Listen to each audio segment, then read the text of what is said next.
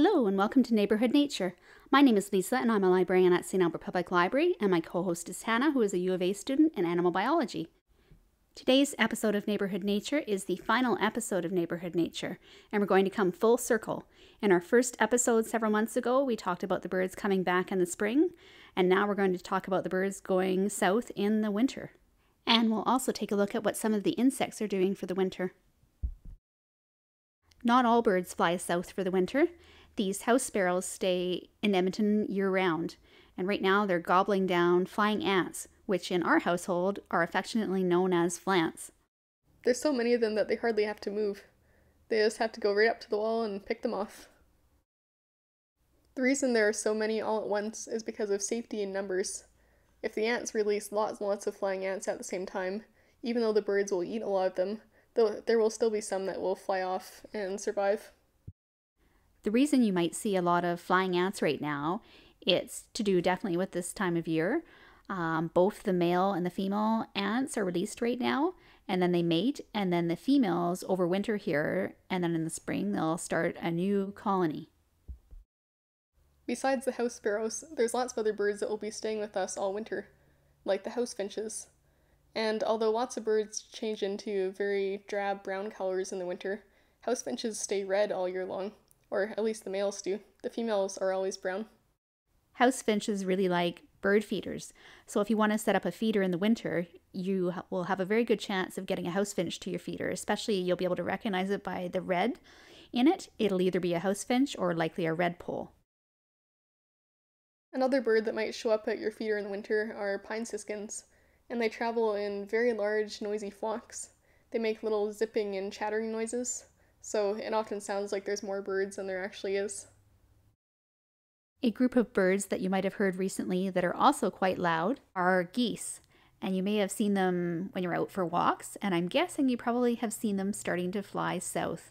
Unfortunately, we saw them start to fly south about two weeks ago. Um, they're not all gone yet, there's still some here, but it's definitely a sign that winter's coming. Sorry about that. Geese often fly in V formations, but so do many other birds, like some gulls, swans, and also cranes. So these birds here may look like a V formation of geese, but they're actually cranes. You can tell because they have very, very long legs, stretching out almost as long as their neck is. If the cranes are flying low enough, you might be lucky enough to be able to hear them. They have a very kind of long, rattly call, to me, it sounds a little bit like when you're cleaning your mirror and you're rubbing it quite vigorously and you make that kind of weird, kind of rattly, squeaky noise. That's what they sound like to me. You can still see some young birds around at this time of year, and this is a young magpie looking rather disheveled. They're very curious birds when they're young, and here you can see that they're exploring some mulch under a tree.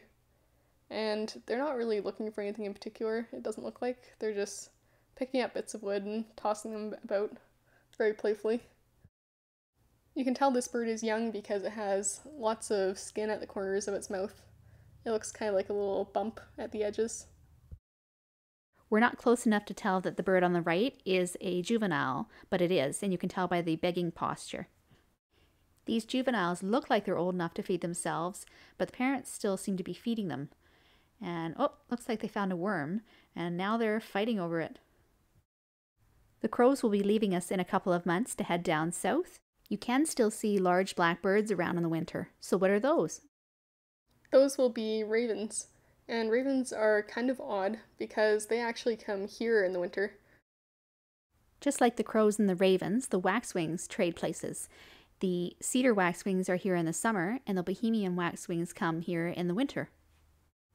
You can recognize the cedar waxwing by its light underside, whereas the Bohemian waxwing has a darker underside, kind of a chocolate rust color. Both waxwings travel in very large flocks and will often swirl around before landing on a tree. This is a flock of Bohemian waxwings. Both kinds of waxwings also make trilling calls as they fly about.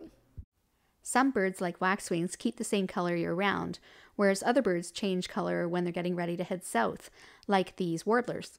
When we saw the yellow rumped warbler in the summer, it looked like this. But now that it's fall, we're going to start seeing it look like this in the next few weeks. Other animals change color as well, like this white tailed jackrabbit. In this case, it's actually changing color for camouflage. Lots of birds migrate and the mammals stay year round for the most part, but you might be wondering where, where do the insects go in the winter? Well, some, like ants and bees, will overwinter as adults, and in the spring they emerge and start a new colony. Others, like grasshoppers, lay eggs underground, and these stay over, over the winter and hatch again in the spring. Dragonflies are a little bit unusual. Their larvae live underwater, and so they stay active all winter. In the spring, they emerge from the water and hatch into fully formed dragonflies. Thank you for watching Neighborhood Nature and for tuning in these last several months. And I want to say a special thank you to Hannah for volunteering her time and sharing her knowledge and videos and photos. Thank you so much, Hannah. You're very welcome. I hope you enjoyed it.